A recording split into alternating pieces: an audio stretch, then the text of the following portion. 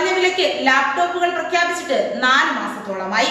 ഇനിയും സർക്കാരിന്റെ ലാപ്ടോപ്പ് പദ്ധതിക്ക് യാതൊരു അനുഭവമില്ല പാവപ്പെട്ട വിദ്യാർത്ഥികളുടെ ഓൺലൈൻ പഠനത്തിന് കുടുംബശ്രീയും കെ എസ് എഫിയും ഐ ടി മിഷനും സഹകരിച്ച് രണ്ടു ലക്ഷം ലാപ്ടോപ്പുകൾ നൽകുമെന്നാണ് ധനമന്ത്രി തോമസ് ഐസക് പ്രഖ്യാപിച്ചത്. ജൂൺ മാസം പ്രഖ്യാപനം നടത്തിയെങ്കിലും ഒക്ടോബർ ആയിട്ടും ഒരു ലാപ്ടോപ്പ് പോലും ഇതുവരെയും എത്തിയിട്ടില്ല പണക്കാരും പാവപ്പെട്ടവരും തമ്മിലുള്ള അന്തരം ഓൺലൈൻ പഠനത്തിൽ ഇല്ലാതാക്കാനാണ് ജൂൺ ഇരുപത്തിയാറിന് സംസ്ഥാന സർക്കാർ ലാപ്ടോപ്പ് പദ്ധതി പ്രഖ്യാപിച്ചത്. സൗജന്യ ലാപ്ടോപ്പ് അല്ല പകരം കുടുംബശ്രീ അംഗങ്ങളെ കെ എസ് എഫ് ഇ ചിട്ടിയിൽ ചേർത്തുകൊണ്ടാണ് ലാപ്ടോപ്പ് നൽകാൻ സംസ്ഥാന സർക്കാർ തീരുമാനിച്ചത്. അംഗങ്ങൾ ചിട്ടിയിൽ ചേർന്ന് മൂന്നാം മാസം ലാപ്ടോപ്പ്. ഇതായിരുന്നു പ്രഖ്യാപനം. വിദ്യാഭ്യാസ പ്രത്യേകം വിഭാവനം ചെയ്ത പതിനയ്യായിരം രൂപയുടെ ലാപ്ടോപ്പാണ് വിദ്യാർത്ഥികളുടെ കയ്യിൽ എത്തേണ്ടിയിരുന്നത്.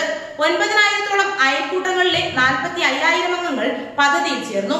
എന്നാൽ ഈ ഒക്ടോബർ മാസവും ലാപ്ടോപ്പ് നൽകുന്നത് പോയിട്ട് വിതരണം ചെയ്യാനോ ലാപ്ടോപ്പ് വാങ്ങാനോ ഏത് കമ്പനിയെ തിരഞ്ഞെടുത്തു എന്ന് പോലും സംസ്ഥാന സർക്കാർ വ്യക്തമാക്കുന്നില്ല. അതേസമയം ആദ്യഘട്ടത്തിൽ വരുന്ന രണ്ടു ലക്ഷം പേർക്ക് വരെയുള്ള പണം നൽകാൻ ഞങ്ങൾ ഒരുക്കമാണ്.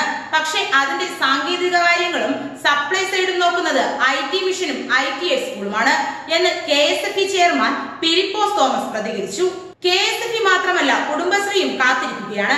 എന്നാൽ ഐ ടി മിഷൻ പ്രവർത്തനങ്ങൾ ഒച്ചിഴയും വേഗത്തിലാണ് നീങ്ങിക്കൊണ്ടിരിക്കുന്നത്. ടെൻഡറിംഗ് നടപടികൾ പൂർത്തിയാക്കി തിരഞ്ഞെടുക്കപ്പെടുന്ന കമ്പനി ലാപ്ടോപ്പുകൾ തയ്യാറാക്കിയിട്ട് വേണം തുടർ നടപടികൾ നടത്താൻ സാധിക്കൂ. ഇതിനി വിദ്യാർത്ഥികളുടെ കയ്യിൽ ഏത് കാലത്ത് എത്തുമെന്നൊന്നും അറിയില്ല.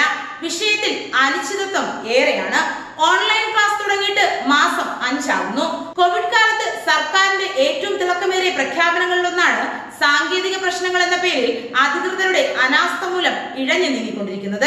അധ്യയന വർഷം പകുതി പിന്നിടുമ്പോഴെങ്കിലും സാധാരണക്കാരുടെ മക്കൾക്ക് ലാപ്ടോപ്പ് കിട്ടുമോ എന്നത് ഇപ്പോഴും ഒരു ചോദ്യചിഹ്നമായി തന്നെ നിൽക്കുകയാണ്. വെബ് തത്വമായി തത്വമയി.